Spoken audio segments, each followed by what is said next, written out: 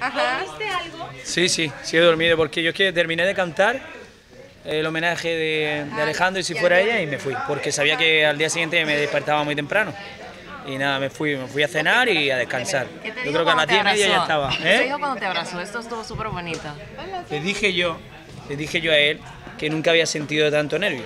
Porque bueno, es mi amigo, pero antes lo conocía como profesional. Entonces cantar y si fuera ello y tenerlo enfrente a escasos metros siempre te impone, porque al final es tu amigo y todo eso, pero es Alejandro Sanz, ¿sabes?